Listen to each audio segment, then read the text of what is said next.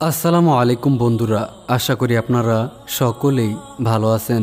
প্রিয় বন্ধুরা, ছেলে তার মাকে শর্ত দিল, আমার মৃত্যুর পর আমার গলায় রশি বেঁধে সারা মহল্লায় ঘোরাঘুরি করতে। কিন্তু কেন ছেলেটি এমনটি বলেছিল এবং এরপর কি হয়েছিল তা জানলে আপনারা রীতিমতো অবাক হয়ে যাবেন। এবং এই ঘটনায় রয়েছে আমাদের সকলের জন্যই শিক্ষা। সেই শিক্ষা পেতে হলে অবশ্যই ভিডিওটি না টেনে একেবারে শেষ পর্যন্ত দেখতে থাকুন এবং আমাদের আজকের এই ভিডিওতে এখনই একটি লাইক করে দিন এবং চ্যানেলে নতুন এসে থাকলে চ্যানেলটিকে সাবস্ক্রাইব করে রাখুন। তো চলুন বন্ধুরা, আমরা সেই ঘটনায় ফিরে যাই। ঘটনাটি বর্ণনা করেছেন হজরত বাবা ফরিদউদ্দিন গঞ্জেশকর রহমতুল্লাহি আলাই ঘটনাটি হচ্ছে এমন, এক যুবক এতটাই মোত্তাকি এবং পরহেজগার ছিল যে সে সর্বদাই আল্লাহ তালার ইবাদতে লিপ্ত থাকত। তার অন্তরে এত পরিমাণ আল্লাহর ভয় ছিল যে সে সর্বদা পেরেশান থাকত এই ভেবে যে আল্লাহ তাআলা তার উপর সন্তুষ্ট আছেন কিনা। আর এই দুশ্চিন্তায় একটা সময় তাকে মৃত্যুর দিকে ঠেলে নিয়ে গেল। যখন তার মৃত্যুর সময় এসে উপস্থিত হলো, তখন সেই যুবক তার মাকে উদ্দেশ্য করে বলতে লাগল হে আমার প্রিয় মা, আমি আপনার কাছে তিনটি কাজের ব্যাপারে ওয়াদা নিতে চাই। দয়া করে আপনি সেই ব্যাপারগুলোর ওয়াদা করুন। মৃত্যুর মুহূর্তে মা যখন ছেলের এই করুণ অবস্থা দেখতে পেল, তখন মা ছেলের ওয়াদা পূরণের প্রতিশ্রুতি দিল এবং তাকে জিজ্ঞেস করল, তোমার মৃত্যুর পর আমাকে কি কি করতে হবে?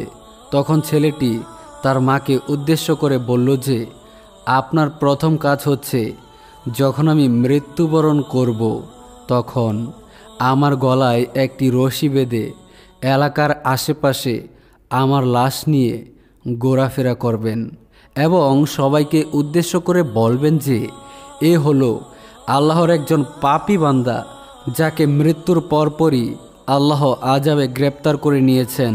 আমি মৃত্যুবরণ করার পর আপনার দ্বিতীয় কাজ হচ্ছে আপনি গভীর রাতে আমার দাফন কাফনের ব্যবস্থা করবেন।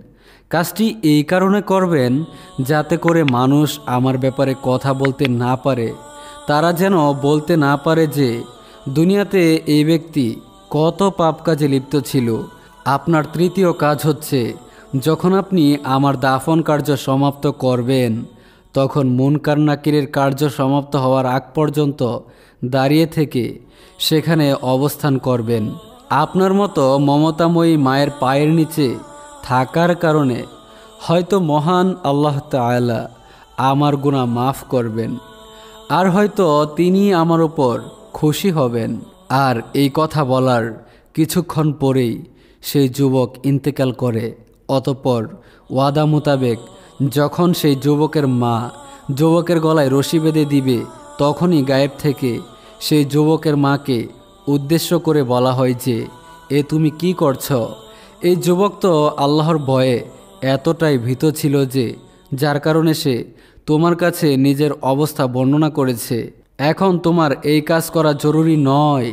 হয়তো তুমি জানো না যে, যখন আল্লাহ তালার প্রিয় বান্দা মৃত্যুবরণ করেছে, তখন কত হাজার হাজার ফেরেস্তা শুধু তার আত্মাকে ইস্তেকবাল করার জন্য সেখানে উপস্থিত হয়েছে এবং কত শান শওকতের সাথে তার আত্মাকে মহান আল্লাহ তালার সামনে উপস্থাপন করা হয়েছে। তোমার উচিত তাকে সুন্দরভাবে গোসল দিয়ে জানাজার নামাজ আদায় করে তার দেহকে তাড়াতাড়ি সেই সমস্ত লোকের সাথে মিলিত হবার সুযোগ করে দেওয়া যেখানে আল্লাহর প্রিয় বান্দারা তার জন্য অপেক্ষায় রয়েছে।